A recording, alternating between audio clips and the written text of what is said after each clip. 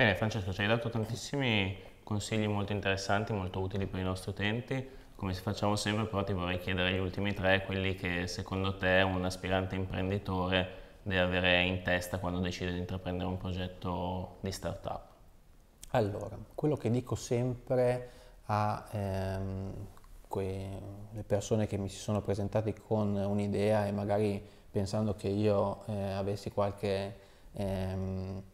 ehm, scappatoio, comunque avessi già fatto la stessa esperienza, quindi magari avessi anche la soluzione al loro problema,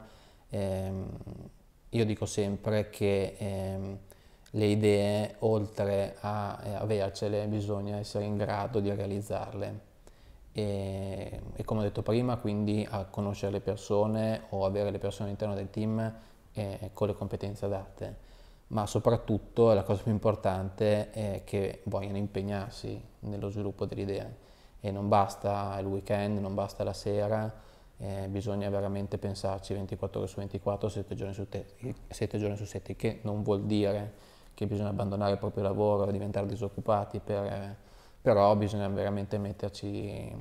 dell'impegno e soprattutto del... Um, um, delle, le persone devono fidarsi l'uno con l'altro e non bisogna ehm, lasciarsi al primo, alla prima difficoltà. Certo. Eh, è molto dura la vita dello startup, eh, noi lo sappiamo bene, il, ehm, le difficoltà ci sono tutti i giorni e bisogna veramente impegnarsi per risolverle al meglio. Eh, altro consiglio ovviamente, come ho detto prima, è il team eh, quindi un team ehm, competente deve essere ehm, assolutamente ehm, richiesto in una startup, quindi almeno le 3-4 professionalità base ci vogliono, poi ovviamente se ci sono delle richieste particolari eh, quelle si trovano, però eh, se uno vuole fare un'app almeno che ci sia lo sviluppatore che conosca quel tipo di linguaggio, se uno vuole fare un qualsiasi prodotto tecnico in cui bisogna avere delle competenze ingegneristiche o chimiche, ehm, ci vuole la persona, anche perché le buone idee poi vengono dalle persone che conoscono quell'ambito, ehm, quindi ci deve essere per forza una persona ehm, competente all'interno del team.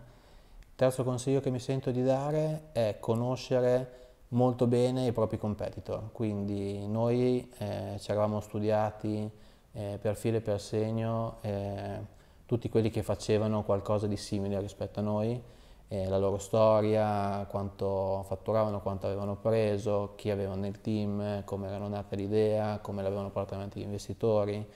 e soprattutto dove avevano sbagliato, perché all'inizio non ha feedback da parte dei propri clienti e può solo vedere come chi ha avuto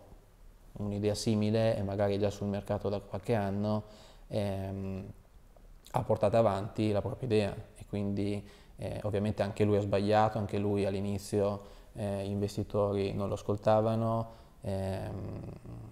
quindi conoscere per filo e per segno a menadito, anzi forse meglio di chi ha fondato quella startup e le startup che sono i tuoi competitor. Chiaro. Grazie mille Francesco, ci hai dato ottimi consigli, speriamo Spero, che solo continui a, cres- a crescere e si espanda subito anche in Inghilterra e in tutti i paesi. Grazie mille e alla prossima. ciao. ciao. ciao